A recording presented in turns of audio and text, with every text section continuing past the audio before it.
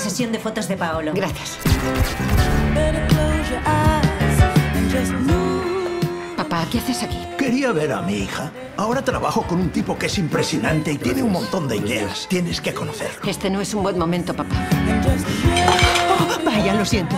Oh, ¡Mierda, mierda, mierda, mierda! En realidad pulsé sin querer. ¿Bebemos No algo? quería que... ¿A, a qué te dedicas?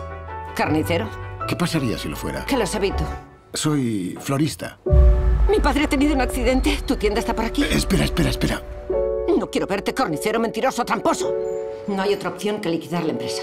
Es una estupidez. No vamos a cerrar antes de Navidad con un montón de pedidos. Es como prender fuego a un stock de bolsos de Chanel y zapatos de Louboutin. Sé lo que es un capón, idiota. ¿Me ha llamado idiota?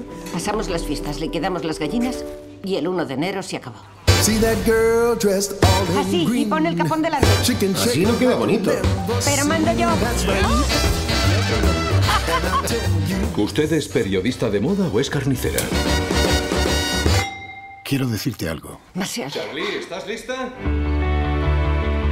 Ceno con los amigos de Julia. Y no quieres que vaya. Para ti son paletos. ¿Es así como me ves? No te veo. Tú eres así. Estás estresada, no saboreas, no vives, ya no sabes de dónde vienes. Lo echaste a perder. Los dos juntos. Funcionamos bien. Ese carnicero y tú sois como 50 sombras de Grey. Sí, ahí. ¿Qué estáis haciendo? Trabajar. Trabajar.